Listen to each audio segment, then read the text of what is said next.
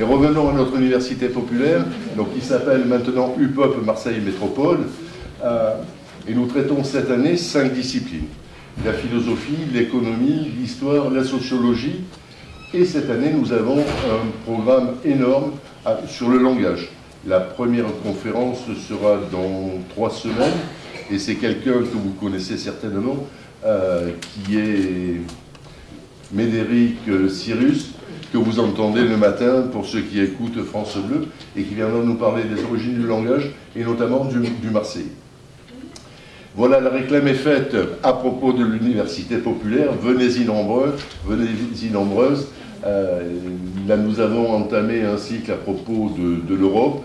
Nous aurons la deuxième conférence lundi prochain. Il y en a deux autres derrière. Et Bernard Tabuteau est quelqu'un d'assez euh, assez extraordinaire. Il, arrive à faire comprendre des choses qui sont euh, incompréhensibles avec des explications qui sont très didactiques. C'est vraiment euh, un excellent intervenant. Et aujourd'hui, je suis euh, ravi pour plein de choses. D'abord parce que c'est la première conférence que l'UPOP organise à l'Alcazar. Et pour nous, c'est un grand honneur d'être reçu dans, cette institution. Euh, même si j'ai les cheveux courts, vous voyez qu'ils ne sont pas très foncés. et j'ai eu la chance, il y a fort longtemps, d'entendre chanter ici euh, comment il s'appelle ici? Richard Anthony. Ça vous rappelle des souvenirs? Voilà, donc. ce lieu, c'était un théâtre, une salle, de, une salle de spectacle, et on disait à propos des artistes qu'ils ne pouvaient réussir que s'ils avaient passé l'examen de contrôle à l'Alcazar. À Marseille. voilà, donc c'était euh, une, une vraie institution. Euh, et ça me fait plaisir de, ben, de me retrouver dans ce, dans ce lieu qui a, ben, qui a bien grandi, puisqu'aujourd'hui c'est plus de 12 000 mètres carrés, c'est ça? Euh, Et qui est devenu la bibliothèque régionale, à non, bibliothèque nationale à vocation régionale. Non, bibliothèque municipale à vocation régionale, BMVR. et qui qui offre euh, un choix de livres et de, films qui est assez, euh, assez extraordinaire euh, et qui permet à des, lecteurs ou à des cinéphiles de venir s'approvisionner, mais aussi à des étudiants, à des chercheurs de venir piocher dans les fonds de, de l'Alcazar qui, sont très très très riches. Et puis je suis encore très fier parce que Leila Touri a accepté d'intervenir dans le cadre des conférences que j'appelle hors les murs de, de l'UPE. Euh, Leila euh, est maroco-belge. Euh, elle enseigne à Genève. Elle, est, prof de, philo. elle, est en ce, elle, est en ce, moment en, résidence à l'IMERA, Institut méditerranéen de recherche avancées. C'est un, établissement qui lui aussi est assez extraordinaire, qui se trouve derrière le palais Longchamp il y a l'observatoire d'astronomie. Et il se passe là aussi plein de belles choses, de belles conférences, euh, plein de moments euh, que je prends en tout cas plaisir à, entendre. Oui.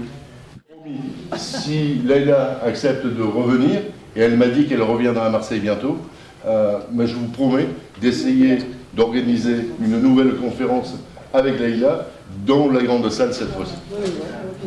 Je reviendrai avec plaisir. Vu votre intérêt aujourd'hui à Marseille. Alors, revenons-en à Leila Toïd, qui est donc euh, résidente à Limera, et cette résidence se termine là euh, ces jours-ci. Oui, tout fait. donc, Leila est titulaire d'un doctorat en philosophie. Comme je vous le disais, elle enseigne à, à Genève. je ne vais pas vous faire le, faire digérer tout, son pédigré parce qu'il y en a une page, et comme nous avons déjà pris beaucoup de retard, euh, bah, c'est mieux de lui laisser la place. J'avais fait poser sur les chaises des, documents de présentation de, de Leïla, mais aussi de, son livre euh, qui est affiché Féminisme arabe, un siècle de combat. Nous n'avons pas pu organiser de table, mais parce que les libraires marseillais euh, ne sont pas très enthousiastes à venir faire des, des ventes de, livres dans les bibliothèques, mais vous pouvez commander ce livre directement chez l'éditeur il vous sera envoyé très très très rapidement. Et encore, grand, grand, grand merci. Et bonne soirée.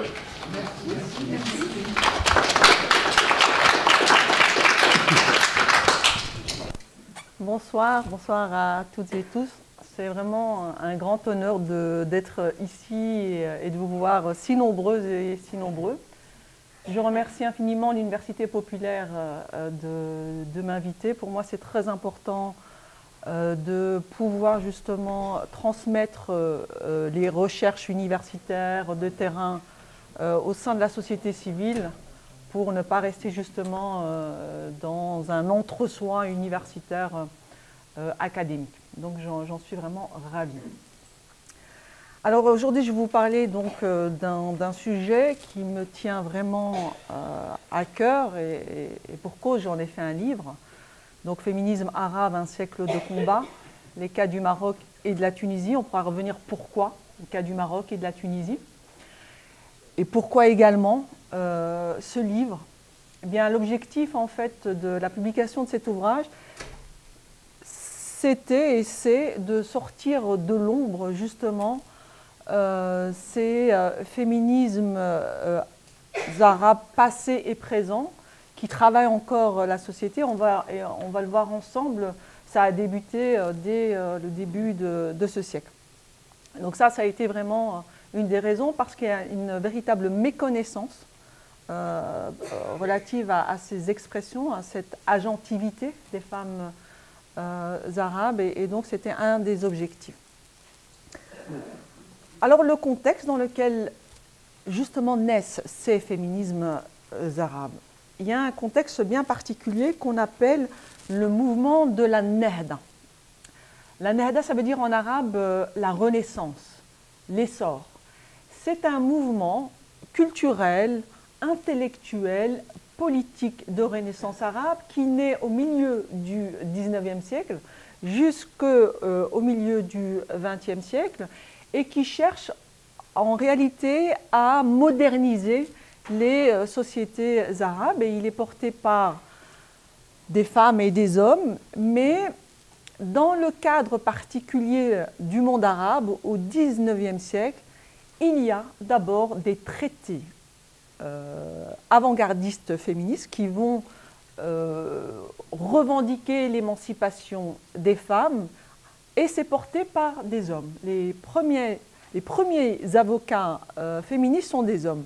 Pourquoi Eh bien parce qu'on est dans un contexte de reclusion euh, totale des femmes. Et donc c'est une des raisons pour laquelle elles ne sont pas les premières euh, femmes à s'exprimer sur leur propre état de suggestion. Mais il s'agit de traités. Les véritables. Et donc vous avez par exemple ici un livre euh, la libération de la femme, Tahrir al-Mar'a de Qasim Amin, qui, est qui a été écrit en 1899 et qui a provoqué un véritable tollé de contestation de la part des milieux conservateurs.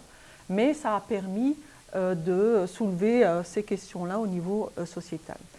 Mais le mouvement féministe arabe en tant que tel, parce qu'on peut déjà s'arrêter ici et dire c'est quoi, c'est quoi le féminisme?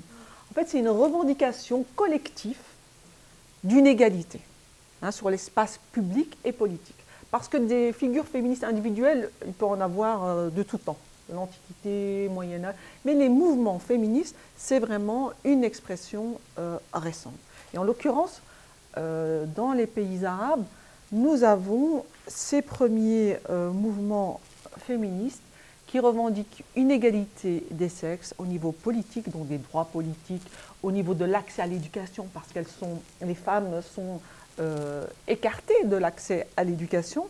Et une des grandes figures pionnières du féminisme arabe, c'est Houda Shahrawi, que vous voyez là, elle est au milieu. Et elle a créé en 1923 l'Union féministe égyptienne. Là, vous les voyez, elles sortent d'un congrès mondial des femmes de Rome, parce que ce que vous ce qu'on peut euh, constater par rapport à, ces premières formes d'expression féministe qui naissent à partir des années 1920, c'est que ce sont des mouvements séculiers. Séculiers, voire laïques, c'est-à-dire qu'elles sont portées par des femmes comme Houda Shahraoui de culture musulmane, mais il y a également des femmes coptes, on est en Égypte ici, il y a d'autres femmes également de tradition juive, et ici on, on va, si vous voulez, transcender l'appartenance culturelle pour faire des revendications de nature citoyenne. Ça, c'est très important. Et plus que ça, une des caractéristiques des féminismes euh, arabes du euh, début du XXe siècle, c'est qu'elles vont systématiquement s'inscrire dans des mouvements de libération des pays, des nations. Nous sommes dans des contextes de colonisation.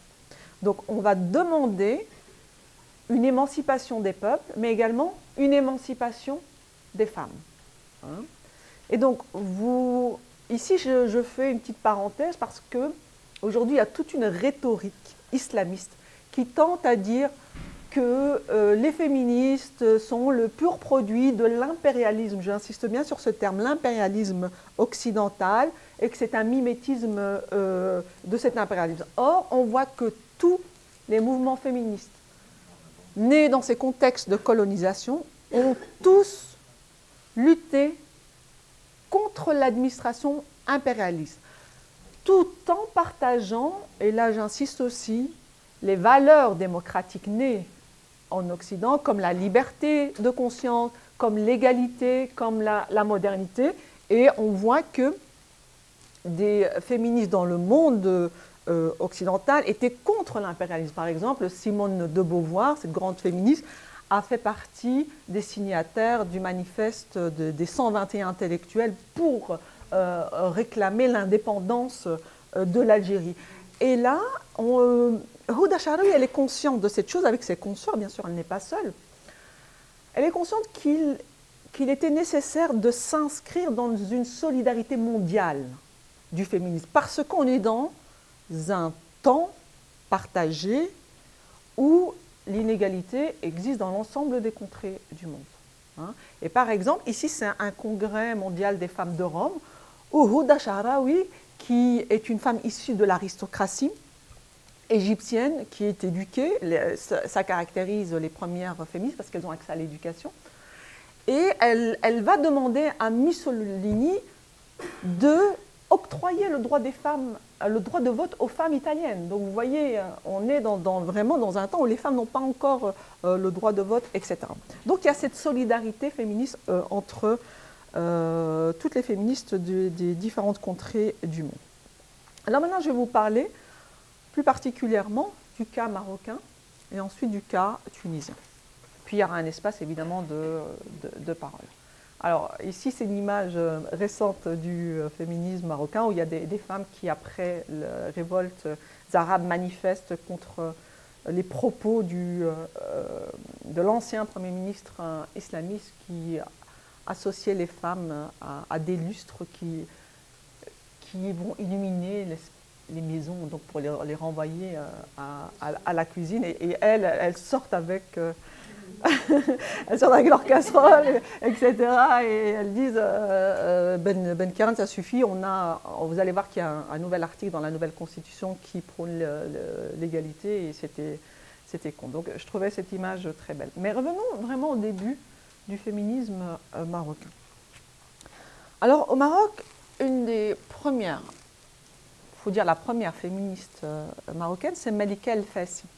Malika El Fassi, elle naît en 1919 et elle va également adhérer, on est ici dans un contexte de colonisation française, et elle euh, va adhérer également à ce mouvement nationaliste d'émancipation. Il y a des partis politiques qui, euh, s'organisent. Et elle aussi, c'est euh, une femme qui est issue de l'aristocratie. Elle est fille d'un érudit religieux. Hein, et elle va également s'inscrire dans ce mouvement euh, d'émancipation. Et par exemple, du haut de ses 15 ans, pour voir l'audace, l'audace euh, intellectuelle mais également subversive de ces féministes, du haut de ses 15 ans, elle va écrire, elle va publier des articles dans la revue El Maghreb, El Maghreb, où elle va revendiquer l'accès des femmes à l'éducation au même titre que les hommes, parce que euh, il y a des universités qui étaient pardon, également des, euh, des, grandes mosquées qui interdisaient l'accès des femmes à, l'éducation. Et donc, elle va dénoncer ça déjà du haut de, ses 15 ans, mais aussi elle sera par exemple une personne qui va être euh, une des seules femmes à signer le manifeste de l'indépendance. Et en 1946, elle va fonder une association qui s'appelle Akhawat el-Safa, les, Sœurs de la Pureté. Alors ça fait peur aujourd'hui en hein, ce terme, je vous l'accorde, mais c'est un lexique religieux de réformiste du début du XXe siècle. Mais c'est un, une association qui réunit des femmes qui euh, se battent pour l'éducation des filles, pour l'alphabétisation des jeunes filles et des femmes bien évidemment, euh, contre la pauvreté, parce qu'il y a une, forte paupérisation, et euh, elles vont également se pencher sur la question du statut juridique des femmes. Alors, on peut, d'un œil comme ça profane, se dire Ah, mais c'est une coquetterie que de parler toujours de, des femmes et de l'islam. Euh, on est fatigué de cette thématique. Malheureusement, dans les pays arabes et musulmans, c'est incontournable. Pourquoi? Parce que le statut juridique des femmes est défini par ce qu'on appelle la charia, c'est-à-dire la dite loi islamique, qui est un, droit euh, d'inspiration religieuse qui va s'élaborer trois siècles après la mort du prophète, donc au 9e siècle de notre ère commune, et qui va définir ce qu'on appelle le droit familial. Et par la force des choses, nous sommes au IXe siècle, partout dans le monde, les systèmes juridiques sont inégalitaires. Eh bien, euh, la charia va entériner cette inégalité qui était pré-islamique et, euh, elle va lui donner une caution également religieuse, ce que, j'appelle moi un patriarcat sacralisé. C'est pour et jusqu'à l'heure d'aujourd'hui, l'ensemble du monde arabe et musulman contient dans ses dispositions, uniquement on va le voir pour les droits, des, droits familiales, eh bien, des dispositions de nature religieuse. C'est pour ça qu'on ne peut pas faire l'économie en réalité, même si on aimerait. Et euh, qu'est-ce qui se passe, pour revenir au Maroc, au moment de l'indépendance? On est en 1956, et là, il y a la promulgation de ce qu'on appelle justement le code du statut personnel, qui est, si vous voulez, le, droit familial, et qui va être euh, énoncé par une commission de théologiens, dominée majoritairement par des conservateurs. Il y a une petite minorité de réformistes, mais euh, qui ne vont pas avoir leur point dans cette commission. Et euh, donc, ils vont promulguer un code du statut personnel des plus rétrogrades c'est-à-dire qu'ils vont vraiment reprendre les dispositions médiévales et vont les imposer hein, euh, à l'ère moderne. C'est-à-dire euh, rapport hiérarchique des sexes, autorité maritale, polygamie, répudiation. Vous savez, c'est quoi la répudiation? C'est le divorce unilatéral. C'est l'homme qui décide de divorcer ou de. Euh, et donc, on n'est pas dans, un rapport égalitaire. L'inégalité successorale, comme je l'ai dit, etc. Et donc là, Malik El-Fassi, avec euh, ses consoeurs, vont dénoncer publiquement, vraiment de manière publique, à travers euh, des écrits, etc. Et euh, pour justement dire, il y a une inégalité qui est instituée. Or, nous, femmes, nous avons participé, comme en Algérie d'ailleurs, à l'émancipation de, de la société. Et là, nous sommes relégués à un statut euh, de euh, citoyen de seconde zone, parce que c'est vraiment de, cela dont il s'agit. Hein. Ensuite, ce qui va se passer au Maroc, c'est que ce code du statut personnel qui légalise l'inégalité dans l'espace privé va coexister avec l'adoption d'une nouvelle constitution en 1962 qui va déclarer l'égalité des citoyennes et des citoyens devant la loi. Et de ce paradoxe va naître, si vous voulez, une intensification du mouvement féministe. Parce que sur l'espace public, officiellement, on reconnaît l'égalité des citoyennes et des citoyens devant la loi. Entre parenthèses, il ne faut pas se leurrer, on est dans des contextes non, démocratiques. Hein. il n'y a, pas de, démocratie en tout cas, durant cette période-là, il y aura les années de plomb, etc. Et partout dans le monde arabe, hein, il n'y a que printemps, les printemps arabes qui ont malheureusement un peu échoué partout, on va y revenir, mais qui, qui, étaient porteurs de, cet idéal démocratique. Et donc, si vous voulez, nous avons quand même officiellement au niveau euh, de l'espace public cette affirmation d'une égalité, on la retrouve partout, dans l'ensemble du monde euh, arabe, euh, ce paradoxe, et au niveau des, foyers, cette inégalité instituée. Alors, au Maroc, la, les mouvements féministes vont naître des partis de, gauche, partis politiques de gauche. Et par exemple, nous avons la section féminine Union socialiste des forces populaires, qui va, en 1975 par exemple, revendiquer euh, une révision égalitaire justement de ce code du statut personnel en demandant la suppression de la tutelle matrimoniale, l'interdiction de la polygamie, etc. Et chose importante, c'est que ces revendications, même dans un parti dit de gauche, eh bien, ils ne vont pas être pris en considération par leur père masculin parce qu'ils vont considérer que c'est une question qui fâche, qui divise et que ce n'est pas une priorité. Bon, on retrouve la même chose ici en Europe dans les, mouvements syndicalistes et, socialistes. À partir de ce moment, les féministes vont prendre conscience d'une chose. Elles vont prendre conscience du fait qu'elles sont sous tutelle politique. Et, elles vont se dire, pour vraiment s'inscrire dans un rapport de force avec le politique qui s'en fout finalement de nos, droits, eh bien, on va s'inscrire au niveau de la société civile. Et à partir des années 80, on va assister euh, au Maroc à, un mouvement euh, très vaste euh, associatif, c'est-à-dire que les, femmes vont vraiment s'investir dans la création de différentes euh, associations féministes. Et, euh, et, du coup, euh, elles vont créer par exemple l'Association démocratique des femmes du Maroc en 1985, l'Union pour l'action féminine en, en 1987, l'Association féminine des femmes progressistes en 1992, l'Association marocaine des droits de la femme en 1992. Alors, L'ensemble, je suis belge, donc je dis, les 90, mais vous comprenez que c'est 90.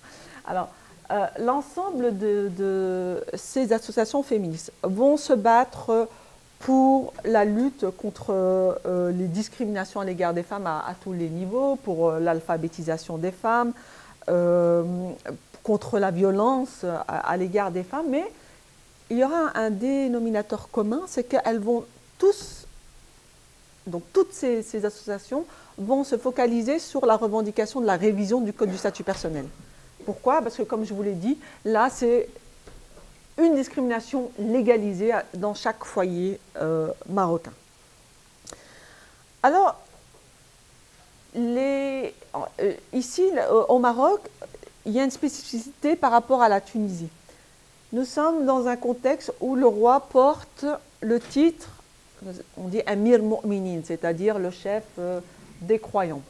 Et donc, l'ensemble des féministes sont pour la sécularisation du droit. Mais elles ne vont pas nécessairement le revendiquer ouvertement, parce qu'il y a justement cette euh, euh, gouvernance politique qui se fonde sur cette légitimité religieuse. Mais la plupart sont vraiment pour la sécularisation euh, du droit euh, familial qui est un droit musulman encore au Maroc. Alors les féministes marocaines, elles peuvent être considérées véritablement comme des actrices de la démocratisation. Pourquoi? Parce qu'elles arrivent à créer dans un contexte non démocratique. Il faut qu'on se remette dans les années euh, 70, 80, c'est Hassan II, c'est vraiment les années de plomb, c'est vraiment une politique extrêmement euh, dure et répressive. Et elles vont tout de même réussir à créer un mouvement d'émancipation des femmes en alliant systématiquement la revendication de l'égalité des sexes avec l'impératif de la démocratie. Avec euh, ce, euh, ce, slogan de dire pas de démocratie sans égalité, pas d'égalité sans démocratie. Hein? Donc en cela, ça c'est vraiment leur leitmotiv. Par ailleurs, cette première vague de féminisme marocain après les indépendances, c'est un féminisme essentiellement porté par des femmes éduquées issues des milieux urbains. On verra qu'après, il y aura une pluralité de féminismes, dont un féminisme populaire.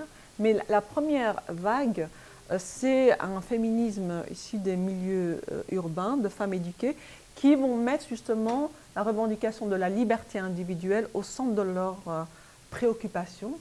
Et elles vont dénoncer justement ce droit familial qui euh, empêche cette liberté individuelle. Alors, ces femmes sont au service de l'ensemble des femmes des classes de toutes les sociétés. Hein. Elles vont ouvrir, par exemple, des foyers pour femmes battues, euh, il y aura toutes des campagnes d'alphabétisation en allant dans les milieux ruraux, etc. Euh, il y a différentes missions qui sont accomplies et des interpellations politiques également. Donc, ce n'est pas un entre-soi entre femmes, femmes urbaines, etc. Mais revenons sur euh, justement ces luttes euh, historiques. Il euh. faudrait peut-être me dire au niveau du temps, j'ai combien de temps parce que je suis. Une bonne heure. Oui, d'accord. En gros, il faut en fait partir D'accord, parce que je, ouais, je vais essayer d'un peu accélérer. Alors, si on revient justement à ces luttes concernant la révision du Code du statut personnel. Au Maroc, il y en a eu en 2004. Il y a eu des réelles réformes égalitaires du Code du statut personnel. Mais avant ça, il y a, eu euh, donc cette instauration de cette inégalité euh, entre les sexes. Alors, durant les années 80, les féministes marocaines, elles vont se référer essentiellement sur euh, le référentiel universel des droits humains, sur les conventions internationales pour l'élimination des discriminations à l'égard des femmes, mais à partir des années 90, face à la montée de l'islamisme, elles vont intégrer également de manière stratégique le référentiel religieux, mais dans une optique égalitaire. Parce qu'on va voir ensemble qu'il y a aussi des lectures égalitaires euh, euh, des textes. Alors, une des grandes figures de ce féminisme marocain qui a vraiment participé à l'écriture de toutes les étapes du féminisme marocain, c'est Latifa Jbebdi. Latifa Jbebdi, qui est fondatrice et présidente de l'Union de l'action euh, féminine. Alors, elle est née au sud du Maroc, à Tiznid, en 1955. Et c'est vraiment une enfant de son temps qui va se nourrir euh, de, de, la littérature marxiste, etc. En 1983, elle va fonder le journal Le 8 mars, qui va euh, étudier, mais vraiment sans complaisance, la réalité euh, des femmes euh, marocaines et ça aura un grand succès. Et justement, ce journal va se transformer en mouvement le 8 mars pour aboutir en 1987 à l'Union de l'action féminine. C'est une grande association qui a plusieurs antennes dans plusieurs villes du Maroc. Alors, ces femmes-là vont se réunir et elles vont réfléchir concrètement à quels outils euh, efficaces peut-on euh, former entre femmes d'abord, elles, s'unissent pour justement euh, réfléchir sur leurs conditions, et ensuite voir au niveau à l'échelle internationale qu'est-ce qui marche ailleurs pour faire bouger les, les lignes. Et un des grands moments du féminisme marocain, c'est la pétition 1 million de signatures pour une réforme égalitaire du Code du statut personnel en 1992. Euh, Alors, c'est Latifa Jbabdi qui a l'initiative de cette pétition.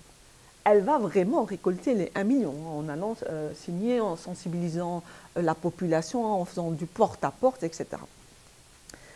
C'est un moment historique qui va marquer un tournant dans la société marocaine. Pourquoi?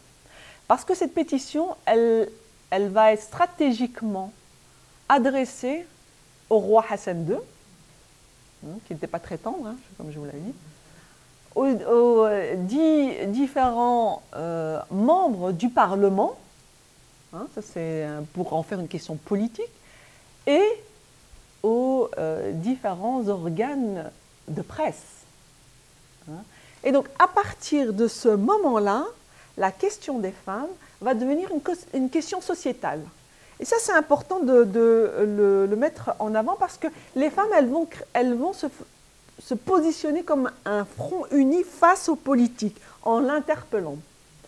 Et elles vont mettre des mots sur ce qui était considéré comme naturel dans l'espace privé. Parce que quand on ne met pas des mots sur le rôle féminin, masculin, traditionnel, on croit que c'est naturel. Mais à partir du moment où on dit c'est une inégalité construite culturellement, historiquement, échangeable, là on peut faire changer les choses. Parce que ce n'est pas quelque chose qui, est de l'indicible et du naturel. Et ça, c'est les mouvements féministes l'ont bien, les théoriciennes féministes l'ont bien mis en avant. Hein, dire les choses, nommer les choses, c'est vraiment euh, leur donner euh, euh, une réalité quelque part. Alors, cette pétition, elle va se baser sur le référentiel universel des droits humains, mais également sur une lecture égalitaire des textes religieux, parce que dans le réformisme musulman, il y a eu également, on, va le voir tout de suite, une approche moderniste des textes religieux. Malgré cette intégration de cette référence religieuse, cette pétition, elle va être critiquée par l'ensemble des islamistes, par euh, euh, les théologiens traditionnalistes, qui vont traiter les auteurs de cette euh, pétition comme étant auteurs d'apostasie. Ils vont carrément faire une fatwa, ce qui est très grave à l'heure de l'islamisme, parce que vous savez qu'on peut tuer aujourd'hui et rendre légitime religieusement à partir d'une fatwa. Malgré ça, elles vont continuer leur combat, ces féministes-là. Bon, cette pétition, elle ne va pas mener à grand-chose, juste quelques minimes améliorations, mais néanmoins, en termes de prise de conscience collective, cette pétition, elle va mettre en lumière une chose. On ne peut pas parler des droits des femmes, des droits des femmes, sans euh, l'associer à la démocratie sociale et politique. Ça devient vraiment, c'est quelque chose qui, euh, qui euh, doivent, ce sont des choses qui doivent être revendiquées ensemble. Alors, nous sommes toujours au Maroc et en 1998, nous avons un premier gouvernement socialiste qui arrive au pouvoir. Nous avons Abdelrahman al-Yousfi qui va recevoir la Tifa Jbebdi avec une délégation de femmes de l'Union de l'action féminine. Et pour la première fois, après l'indépendance, eh bien, le gouvernement marocain va prendre en considération les revendications des féministes marocaines. Et euh, il va créer en 1999 ce qu'on appelle le plan d'action national pour l'intégration de la femme au développement, qui comprend pas moins de 215 mesures qui touchent à différents domaines, éducatifs, socio-économiques, juridiques, politiques. Mais tout le débat va être focalisé sur les réformes du Code du statut personnel. Et là, ce plan d'action va révéler une chose au sein de la société marocaine. Il va révéler qu'en réalité, nous sommes face à deux groupes sociaux. Les féministes qui sont pro-plan et les islamistes qui sont euh, anti-plan. Pourquoi on peut se dire, mais pourquoi les islamistes finalement ils sont contre euh, cette égalité, etc. Eh bien parce que dans leur conception, et bon l'islam est plus réel, mais dans leur conception, eh bien ils considèrent que euh, la notion d'individu et la liberté individuelle est incompatible avec la dite euh, identité islamique et la famille euh, euh, musulmane. C'est dans, leur conception, bon, c'est pas la seule, mais c'est une des raisons pour laquelle ils il s'opposent. Alors, cette question-là de la Moudawana va devenir un enjeu sociétal qui va s'illustrer le 12 mars 2000 par deux gigantesques manifestations. L'une qui sera porté évidemment par les féministes pro-plan, euh, par un collectif d'associations euh, euh, arabes. Il y aura des femmes et des hommes pour, contre les islamismes et pour le plan d'action. Et puis l'autre, anti-plan, qui sera organisé à Casablanca par des, par des femmes et des hommes islamistes. Et c'est pour la première fois dans l'histoire du Maroc que des mouvements islamistes descendent dans la rue c'est l'Adol Ihsan, donc justice et bienfaisance, euh, et, euh, le PGD, le parti euh, justice qui, est au, gouvernement actuel. Eh bien, ils descendent dans la rue pour influer sur le devenir de la place et du rôle des femmes dans la société, pour vous dire que la question des femmes est une des centralités du projet islamiste. Hein. Face à cette situation-là, que fait le gouvernement marocain? Eh bien, il va essayer d'entendre les revendications égalitaires des féministes, la demande de réislamisation des islamistes, et il va créer ce que certains appellent un féminisme islamique d'État, c'est-à-dire des améliorations, mais avec une légitimité religieuse. Hein. Et en l'occurrence, en 2004, on va avoir des réformes très importantes du code euh, du statut personnel, qui va venir le code de la famille, et qui est, il faut le rappeler, ce n'est pas euh, donné par euh, le gouvernement, hein, c'est le fruit d'un long combat du, mouvement féministe marocain. Et ici, nous allons avoir l'élévation de l'âge du mariage des filles à 18 ans. Ça ne veut pas dire que dans les faits, c'est comme ça. Hein. Ce sont des, ce sont des, des, au, niveau du droit. L'abolition de la tutelle paternelle pour le mariage, donc ça devient facultatif, parce que c'est très ancré dans la tradition marocaine, la bénédiction du père, l'égalité des droits et des, devoirs de l'homme et de la femme au sein de la, famille, et donc euh, l'égalité euh, ici des époux. Vous voyez, ça c'est vraiment parce qu'avant on était dans l'autorité maritale, là on est dans l'autorité conjointe. C'est vraiment un grand pas. Hein.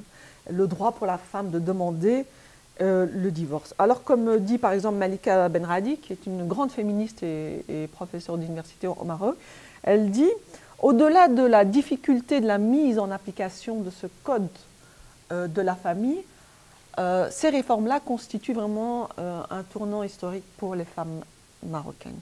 Hein. Mais malheureusement, ce code de la famille n'est pas entièrement égalitaire parce que déjà l'inégalité successorale, on ne l'a même pas touchée, on ne l'a même pas évoquée. Hein. mais à côté de ça, il n'y a pas eu une totale suppression de la polygamie il n'y a pas eu une totale suppression de la répudiation. Elle, est, elle a juste été transférée entre les mains euh, du, juge. C'est-à-dire qu'avant, le, mari pouvait aller chez un notaire et dire je, répudie ma femme. Là, il faut l'appréciation du juge, mais elle est toujours là. Hein. Alors, on va faire un grand pas historique et pour arriver au printemps, euh, printemps arabe. Alors, on est dans ce contexte de 2011 euh, où le Maroc, comme euh, l'ensemble des pays arabes, est touché par cette vague hein, de euh, revendication d'une liberté, d'une égalité, d'une dignité, euh, dénonciation des inégalités sociales qui est portée par, par la rue, par vraiment les citoyens et les citoyennes. Et là, au Maroc, comme dit Horia Alamim Chichi, c'est également la première fois après l'indépendance qu'on assiste à un, mouvement global porteur d'une dimension utopique partagée. Hein. et là, des femmes et des hommes descendent massivement dans la rue et euh, vont euh, euh, faire crier leur indignation et faire des revendications politiques. Alors les féministes qui sont véritables actrices de, la démocratisation vont forcément être impactées au Maroc par ce mouvement. Au Maroc, c'était le mouvement du 20 février. Et on va voir dans la rue également apparaître une pluralité de féminismes arabes. C'est-à-dire qu'on va avoir un féminisme plus populaire, un féminisme jeune, avec des nouvelles revendications. Euh, par exemple, il y a des, jeunes féministes qui euh, portent des banderoles en disant Mon corps m'appartient, hein, qui dénoncent également les codes euh, vestimentaires basés sur la morale sexuelle, euh, il y a, euh, les réseaux sociaux sont également mobilisés. C'est vraiment un, vecteur extrêmement important dans ces nouvelles revendications euh, féministes. Et donc là, il, y a également des, féministes qui vont utiliser le dialecte marocain avec des chants populaires qui, dans les milieux ruraux. Donc il y a vraiment un pluralisme de féminisme euh, marocains qui, naissent là. Va également naître en 2011 un collectif très important qui s'appelle le Printemps féministe pour la démocratie et l'égalité, qui va comprendre les, associations historiques également euh, féministes. Et elles, elles vont c'est une vingtaine d'associations qui vont réclamer en mars 2011 l'inscription d'une égalité totale entre les sexes au niveau constitutionnel. Hein. Alors, pour répondre, au Maroc, euh, le roi a été extrêmement prudent. Il a vite euh, mis sur place une constitution. Et, justement, pour répondre à, ces revendications, eh bien, il adopte euh, en juillet 2011, donc vous voyez, on est en mars, juillet 2011, une nouvelle constitution. Et il y a l'article 19 qui nous intéresse le plus ici et qui dit L'homme et la femme jouissent à égalité des droits et libertés à caractère civil, politique, économique, social, culturel et environnemental, énoncés dans le présent titre et dans les autres dispositions de la Constitution, ainsi que dans les conventions et pactes internationaux dûment ratifiés par le Royaume, et ce, dans le respect des dispositions de la Constitution, des constantes et des lois du Royaume. Alors, euh, vous voyez, les conventions internationales, c'est essentiellement la, Convention des euh, Nations Unies de 1979 contre l'élimination euh, de toutes les discriminations à l'égard des femmes. Alors, l'ensemble des pays arabes l'ont adopté, mais avec des réserves. Tout ce qui est contraire aux droits musulmans, on ne touche pas. Hein. Et donc, le, Maroc, en 1993, l'adopte.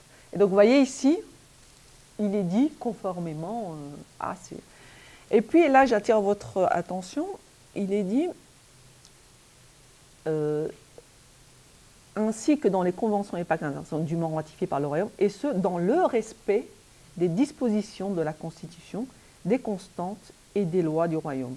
Alors les constantes, et les féministes ont, ont dit c'est très bien, c'est une belle avancée, mais il faut quand même adopter une approche critique.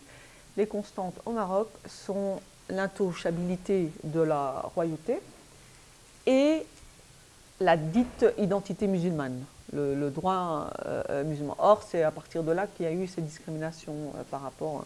Donc, il y, a, encore, y a encore à faire. Alors, dans. Bien sûr, partout. Alors, dans les nouvelles expressions de ces féministes, de, cette jeunesse féministe marocaine, nous avons par exemple Fedwa Misk, qui est, qui est née en 1981 et qui est euh, une jeune activiste qui a fait des études de médecine, etc., et qui a eu vraiment une prise de conscience féministe euh, en voyant des cas de, femmes, euh, de mères célibataires complètement discriminées au sein même des hôpitaux et, aussi insultées. Elle dira J'ai pris conscience que le patriarcat est pire que la pauvreté. C'est comme ça qu'elle va vraiment avoir une conscience féministe. Et là, elle, s'est dit, mais je n'ai pas les, moyens de sensibiliser à grande échelle la société. Qu'est-ce que je peux faire? Eh bien, elle, va créer en 2011 euh, un site qui s'appelle euh, Kandisha. Kandisha, c'est en fait c'est une figure mythique marocaine, euh, fascinante et diabolisée, bon, qui travaille les imaginaires marocains. Et donc, elle reprend, si vous voulez, ce terme-là et euh, elle va sensibiliser les, jeunes filles, les femmes, et aussi interpeller les gouvernements par rapport euh, à des euh, inégalités. Alors, des cas aussi de viol, etc., qui vont être dénoncés collectivement. Et parce qu'au Maroc, jusqu'à récemment, le violeur pouvait épouser. C'était le cas de Anissa Filali, vous vous rappelez Euh, et, donc, c'est le violeur, pour échapper à l'emprisonnement, euh, peut épouser sa victime. Et cette pauvre victime a dit Mais je ne vais pas subir un deuxième viol. Et donc, elle s'est suicidée. Donc, il y a eu tout un tollé. De... Et donc, elle, elle a interpellé également, parmi d'autres. Hein. Euh, et donc, c'est ça qui est important c'est que les réseaux sociaux sont également un, vecteur très, très important pour appuyer les revendications historiques féministes. Alors, autre, par exemple, cas, nous avons euh, euh, Betty Lashkar, qui est euh, fondatrice du mouvement alternatif pour les libertés individuelles, qui fait également un travail extraordinaire au Maroc. Bon, elle a créé ce mouvement avant les révoltes arabes, et il y a des actions comme ça ponctuelles qui sont créées, mais qui, veulent également choquer un peu la, population. Alors, par exemple, il y a eu en 2013 l'emprisonnement de deux pauvres adolescents qui avaient posté, comme on peut poster ici sur Facebook, leur échange de baisers. Ils ont été emprisonnés. Ils ont été mis, ils, ont, ils ont été pas directement emprisonnés, mais ils étaient, il y avait une mise une sanction. Et donc, elle, va sensibiliser l'opinion publique en créant un kissing euh, à Et elle dira, elle je suis consciente que nous heurtons les, sensibilités des citoyens marocains, mais il faut passer par là pour ouvrir le débat, provoquer pour changer les choses et délier les langues. Elle va également, par exemple, être à l'initiative du bateau de l'avortement, parce qu'au Maroc, l'avortement est toujours euh, euh, interdit. Il y, a, toutes des, actions, mais vraiment euh, extrêmement importante, euh, portée par une jeunesse qui, euh, euh, œuvre dans des contextes pas entièrement démocratiques, puisqu'au Maroc, nous n'avons toujours pas la liberté de conscience. Hein. Alors, est-ce que tout va bien jusqu'à présent? Alors, vous êtes prêts à attaquer le féminisme tunisien? Je vais juste boire un petit coup.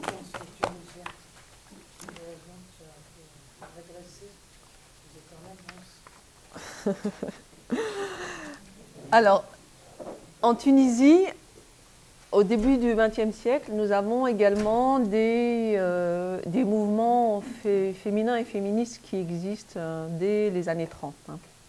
Mais là aussi, vous allez voir qu'il y a des avocats, des hommes ici, qui euh, prônent l'émancipation des femmes. Et une figure très importante en Tunisie et la figure de Taha Haddad. Taha Haddad va, c'est un réformiste théologien qui a une formation dans la grande université de Zitona euh, à Tunis, qui est un peu l'équivalent de l'Azhar en Égypte. Hein. c'est une institution religieuse qui, euh, qui forme les, euh, les, les les grands savants. Et donc lui, il est acquis à aux idées de Qasim Amin et euh, il va également réfléchir sur euh, comment améliorer la condition des femmes puisque la charia a un poids sur le devenir de la société. Et lui, il réfléchit à la modernisation de, de la société. Et il va écrire un ouvrage en 1930, Notre femme, la législation islamique et la société. Et dans, cette, euh, dans cet ouvrage, il va prôner l'émancipation juridique euh, des femmes, leur instruction, leur participation dans la société, mais il va euh, également prôner l'abolition de la polygamie, l'abolition de la répudiation. Il va défendre l'égalité successorale, chose qui n'est toujours pas acquise à l'heure d'aujourd'hui en Tunisie, hein, en 1930. Il va défendre l'abolition du voile, parce qu'on est dans des contextes de voilement traditionnel qui est lié à la réclusion des femmes. Donc euh, c'est un empêchement à leur participation dans la société. Et ce grand homme qui est Tara Haddad, c'était en 1930. Il devait normalement, il, était entré à l'école de droit pour euh, avoir euh, justement son, titre dans cette école de droit eh bien, à la même année, il devait passer ses examens. Dès que ce livre est sorti, il y a eu euh, des réunions, il y a eu toute une campagne de dénigrement, tant de la part des autorités politiques que de la part des autorités euh, religieuses. Et on va l'interdire de passer son examen en 1930. On va lui retirer tous ses grades euh, acquis, et donc ce sera vraiment le bannissement social il va mourir de manière prématurée hein, euh, à, l'âge de 36 ans. Mais les femmes tunisiennes doivent beaucoup à l'œuvre de Taha Haddad parce que son œuvre a été mobilisée par euh, Habib Bourguiba quand il arrive euh, au pouvoir en 1956 pour légitimer justement ces grandes réformes, on va les voir tout de suite, au niveau du droit euh, musulman, même si on va voir ensemble qu'il y aura une émancipation de, la sphère religieuse pour que ce soit un droit civil, mais il y a encore des dispositions religieuses pour justement donner une légitimité par rapport à toutes les, réformes qu'il va apporter, il prend l'œuvre de Taha hein, Et aujourd'hui, on ne peut pas comprendre la, Tunisie sans ses repères historiques. Mais les véritables mouvements féministes en Tunisie eh bien, sont évidemment portés par des femmes. Et là, par exemple, une des premières figures, c'est Pshira Ben Marad, qui est une des premières femmes à penser d'une manière collective l'organisation sociale des femmes. Donc on est vraiment sur l'espace euh, public. Et là, elle aussi, c'est une fille d'un grand cher, hein, donc un religieux. Et elle va créer euh, l'union euh, des, femmes, l'union musulmane des femmes tunisiennes. Et l'objectif de cette union musulmane des femmes tunisiennes, ce sera de promouvoir l'émancipation des femmes sur l'espace public, leur instruction. Elle va participer, elle également, euh, à la libération du, pays à travers des manifestations. Elle, va s'associer à des organisations syndicalistes, parce qu'il y a un mouvement syndicaliste très euh, ancré. D'ailleurs, euh, Taha était un grand syndicaliste. Il a écrit aussi un ouvrage sur le syndicalisme. Et dès lors, elle va créer tout un mouvement de femmes en, dès 1900.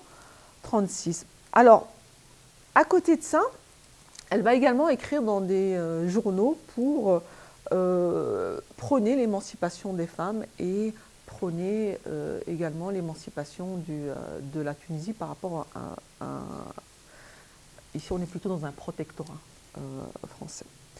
Alors, il y aura également d'autres associations féministes, parce que ce que vous devez ici peut-être retenir, c'est que euh, l'Union musulmane des femmes tunisiennes était proche d'un parti néo-destou qui, qui, va davantage axer ses euh, activités sur euh, les plans caritatifs et religieux. Alors que nous avons l'Union des femmes tunisiennes qui est créée en 1944 et qui est de tendance laïque et qui est proche du parti communiste et qui ce mouvement-là va plutôt s'engager euh, dans la lutte pour les droits politiques et sociaux des femmes.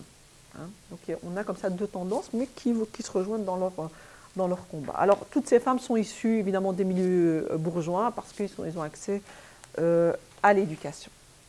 Arrivons justement à l'indépendance. Je bois beaucoup quand je, quand je, quand je parle. Alors, nous avons l'accès à la présidence de Habib Bourguiba en 1956. Alors lui, il va vraiment entreprendre une réforme de fond de la société. Il y a une, véritable modernisation de la société et il va comprendre que euh, la politique de l'émancipation des femmes doit s'intégrer à ce mouvement euh, de, euh, de modernisation. Alors, que les choses soient claires, il s'agit d'une modernisation sans démocratisation. Hein, c'est un parti unique. Mais néanmoins, il y a des vraies réformes. Et lui, justement concernant le code du statut personnel, en 1956, il va d'autorité politique mettre fin à cette longue controverse théologico-religieuse concernant le statut des femmes, en abolissant la polygamie, la répudiation, euh, en instaurant euh, le divorce judiciaire. Et là, on voit bien qu'en réalité, qui a le pouvoir C'est les autorités politiques. Même si nous avons des acteurs religieux qui sont contre, etc., c'est, in fine, le politique qui euh, octroie les droits des femmes et les droits humains tout court. Hein. Donc ça, ça c'est important à le retenir. Alors Bourguiba, il va adopter ce qu'on appelle un féminisme d'État à travers différentes euh, réformes. D'abord, 56, réforme du Code du statut personnel. 1957, le droit politique des femmes, les femmes peuvent euh, voter. 1958, généralisation de l'enseignement. Et ce n'est pas juste une déclaration, hein, c'est vraiment réel. Les filles et les garçons, partout, dans les milieux urbains, dans les milieux urbains et dans les milieux ruraux, ont accès à l'éducation. Il y a toute une campagne d'éducation au niveau euh, des, milieux ruraux, ce qui explique aujourd'hui euh, la maturation du pays, euh, de, la Tunisie aussi. Il y a, cette, histoire, l'éducation est extrêmement importante. il y a en 1960 le lancement du planning familial. Il y a en 1973 le droit à l'avortement, avant la France, 1975. Généralisé, femme mariée ou pas. Hmm. Alors, entre nous, ce n'est pas pour euh, les beaux yeux des femmes individuelles, hein. c'est vraiment dans une optique euh, de politique collective de développement où on sait qu'une femme qui euh, est assujettie à, la fonction de reproduction, eh bien, ne peut pas participer dans la société, ne peut pas participer à l'essor de la société. Hein. Et ça, c'est pour le mouvement féministe, la maîtrise de la reproduction, de la fonction reproductive a émancipé les femmes. C'est une révolution anthropologique. Hein. On ne se rend pas compte aujourd'hui, la pilule, etc. Mais c'est une révolution anthropologique. Hein. Je ferme la parenthèse. En 1980, euh, tutelle des il y a toute une série euh, de, réformes. Donc, il y a une réelle émancipation des femmes. Mais comme dit Sophie Bessis, que vous devez certainement connaître, et euh, Senna n'en demeure pas moins que ce féminisme d'État, il est ambigu. Pourquoi il est ambigu? Parce que, dans un premier temps, Habib Bourguiba euh, s'inspire de la laïcité dans euh, la construction de cet État moderne, mais en 1959, il va quand même inscrire l'islam comme religion d'État. Ensuite, euh, il y aura une circulaire en 1973 interdisant le mariage de la musulmane, de la tunisienne musulmane, avec un non-musulman. Vous voyez, toutes, euh, qui, sont en, réalité des dispositions du, euh, droit musulman. Hein, donc vous voyez cette... Et puis, évidemment, il y aura l'adoption en 1984 euh, de la Convention de, Copenhague sur l'élimination de toutes les formes de discrimination à l'égard des femmes, avec des réserves, pas d'égalité successorale. Vous voyez? Il y a euh, d'où l'ambiguïté. Mais il n'en demeure pas moins que euh, si aujourd'hui la Tunisie est arrivée à un état de où c'est finalement le seul pays qui a le plus de droits des femmes que l'ensemble du pays, que l'ensemble des pays arabes. C'est grâce à Bourguiba, ça il faut le reconnaître. Hein. Alors, restons dans ce féminisme d'État.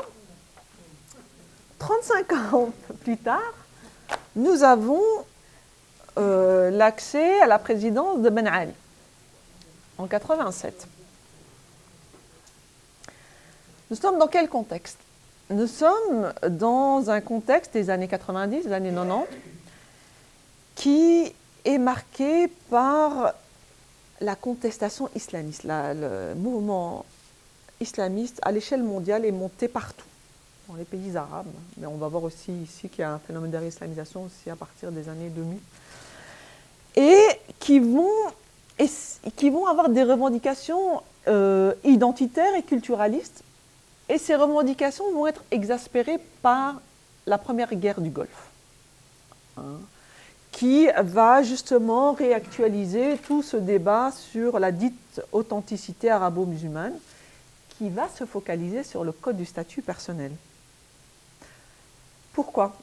Parce qu'on considère que la femme est gardienne de la tradition. Hein Et donc, en Tunisie, il y aura même des demandes de revenir sur les acquis du code du statut personnel.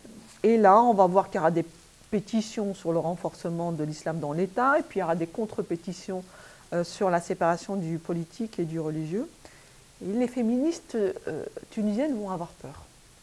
Elles, vont euh, pas revendiquer plus de droits, mais elles vont serrer les coudes pour revendiquer une préservation de leurs droits. Dans un premier temps, Ben Ali, stratégie politique oblige, va commencer à flirter avec les islamistes il va comprendre que euh, ça peut être une grosse menace pour sa propre légitimité. Et donc là, il va quelque part utiliser les femmes contre les islamistes.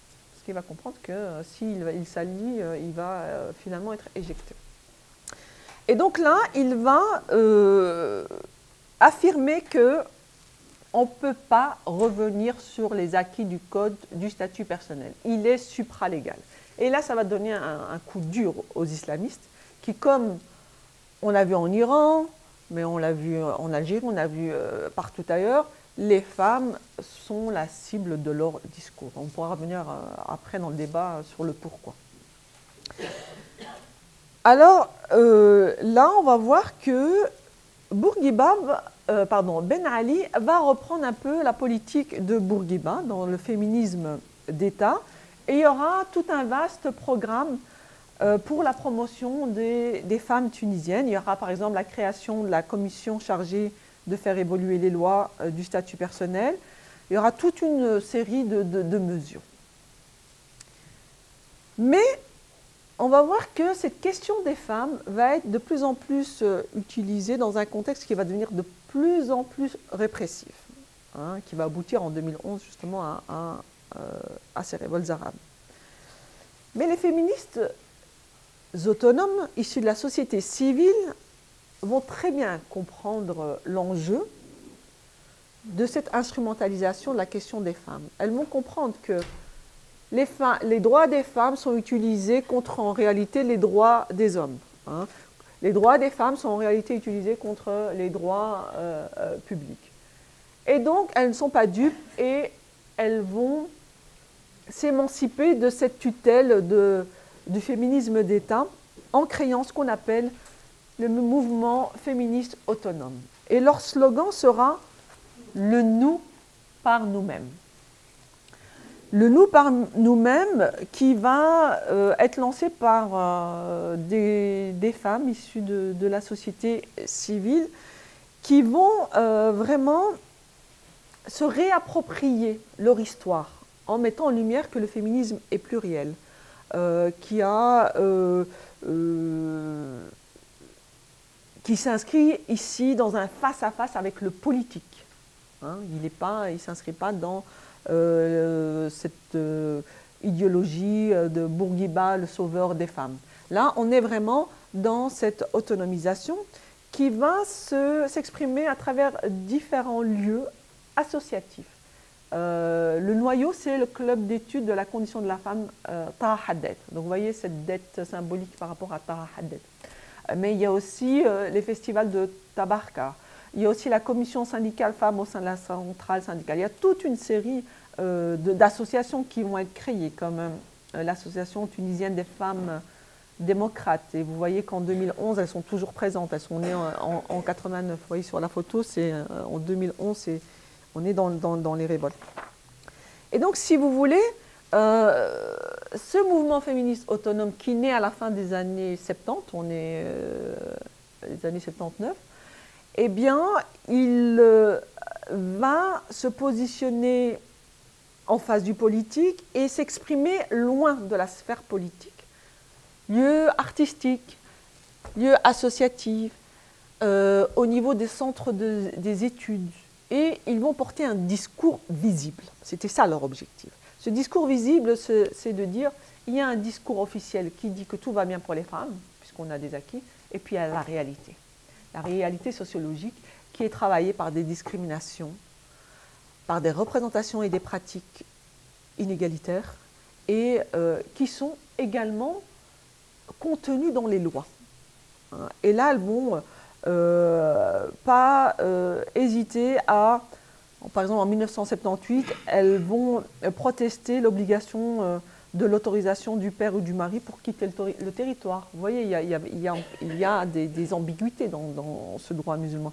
Elles vont euh, poser également un regard critique sur le statut juridique religieux des femmes, sur la question de la sexualité en dehors du mariage, sur le devenir des, des féminismes au niveau du Maghreb, etc. Et L'une des associations qui porte vraiment euh, ce féminisme autonome, c'est euh, l'association tunisienne des femmes euh, démocrates.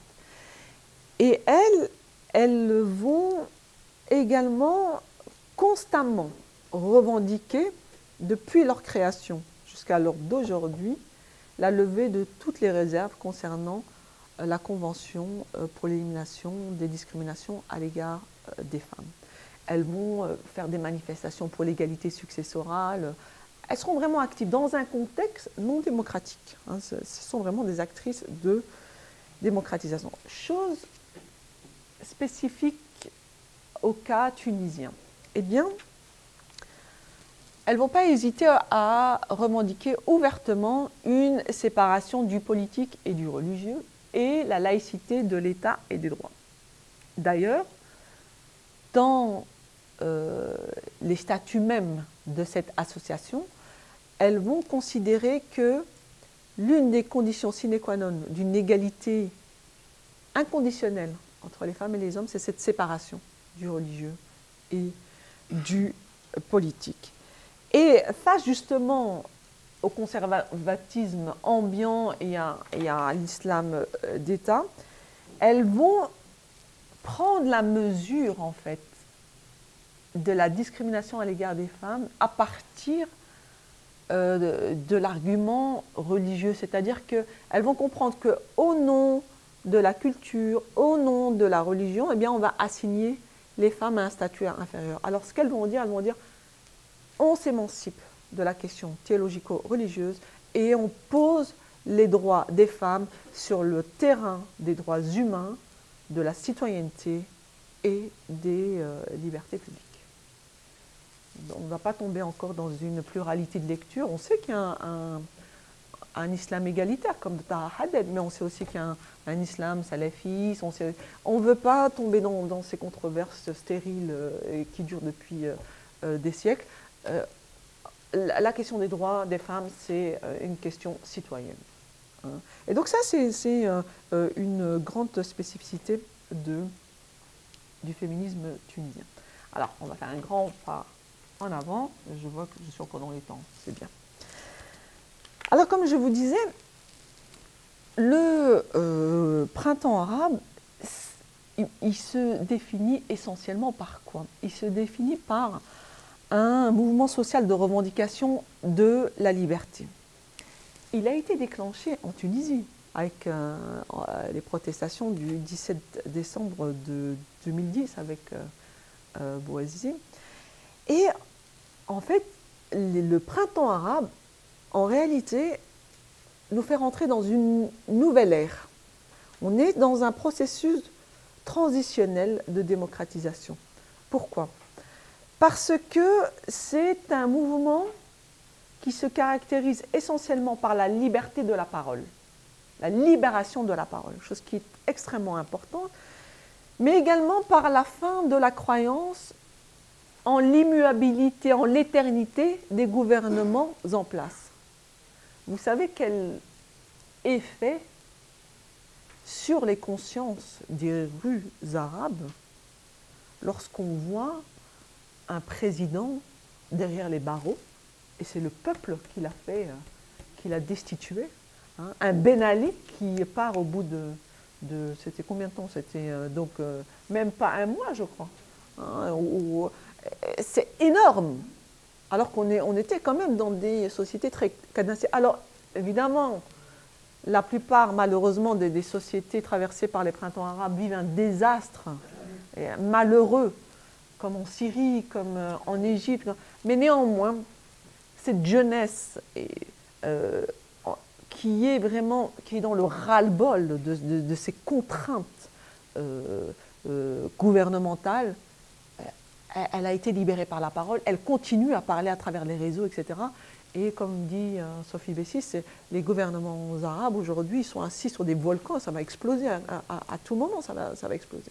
Alors évidemment, quand on libère la parole, on libère aussi hein, les forces conservatrices. Hein, vous avez vu Daesh, vous avez vu. Donc euh, il y, a tout ça qui. Bon, bah, on va quand même fermer cette parenthèse de Daesh et revenir sur les, mouvements féministes. Et je vais bientôt euh, terminer. Et donc, on voit que au lendemain des élections libres, alors que les islamistes n'étaient pas à l'initiative des révoltes arabes, ils arrivent au pouvoir. Ils arrivent euh, au pouvoir et euh, l'arrivée de la Nahda au pouvoir, donc le parti islamiste, va faire crainte aux féministes euh, la perte de leurs acquis. Et a raison, parce que, par exemple, le, le, parti Nahda, il faut dire qu'on est en 2012, nous sommes dans les débats parlementaires de projets constitutionnels.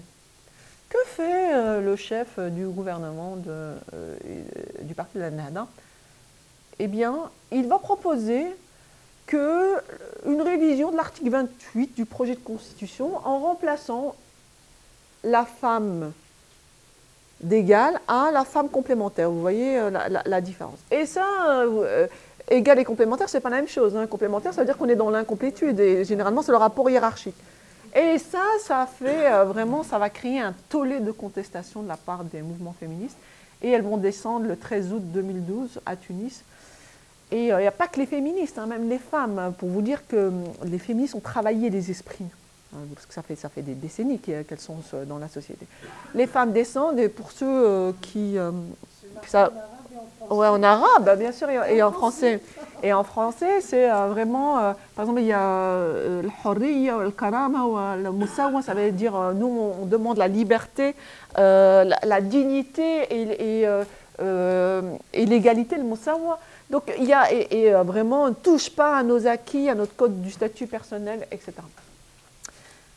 Et là, et c'est là qu'on voit qu'on est dans un réel processus de démocratisation, c'est que le parti de la NERDA, face à la pression de la rue, ce sont des milliers de femmes qui sont descendues, il est obligé de faire marche arrière. Et là, on voit que, euh, voilà, même si le gouvernement à l'époque était majoritairement islamiste, eh bien, la société civile s'inscrit dans un rapport de force. Et il revient sur euh, cette, euh, cette revendication. Alors, mais ce que vous devez également comprendre, c'est que depuis l'accès au pouvoir des islamistes, depuis 2011, euh, eh bien, le champ associatif, comme euh, dit Amel Mahfoud, tunisien connaît une polarisation de plus en plus manifeste parce que l'arrivée au pouvoir des islamistes va euh, participer à la réislamisation de l'offre des droits des femmes dans une perspective de patriarcat islamique bienveillant.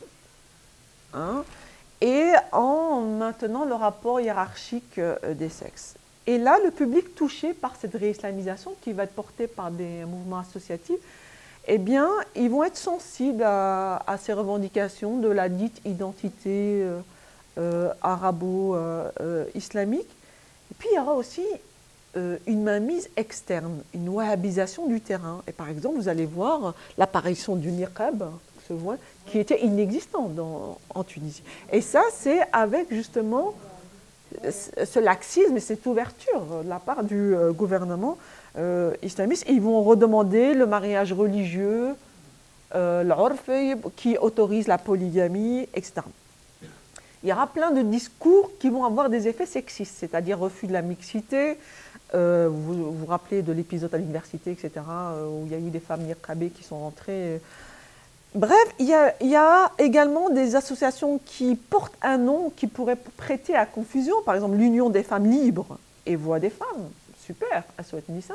Eh bien, euh, non, en fait, elles réunissent des associations féminines qui vont revendiquer la participation des femmes dans la société, mais dans le respect de la dite loi islamique. Et donc elles vont s'opposer à la levée euh, de toutes les réserves, à l'égalité successorale, euh, aux droits euh, sexuels, parce que c'est jugé incompatible avec la dite loi islamique. Et donc, si vous voulez, comme dit Amel et Dora Mahfoud, le mouvement des femmes tunisiens va être animé par deux projets de société. Les féministes égalitaristes, qui prônent, à partir du référentiel universel, la démocratie et l'égalité inconditionnelle des sexes, et euh, ces, femmes islamistes qui vont euh, porter un discours plutôt rapport hiérarchique, projet conservateur, euh, familialiste. Hein. Il y a évidemment également ici toute une génération de nouvelles jeunes féministes qui vont apparaître durant ce mouvement euh, du, dit printemps euh, arabe. Et il y a par exemple Henda Hendoud, qui, tout jeune, 1985, qui, qui va euh, être le porte-parole d'un mouvement qui est né sur les toiles, la, toile, la, toile web.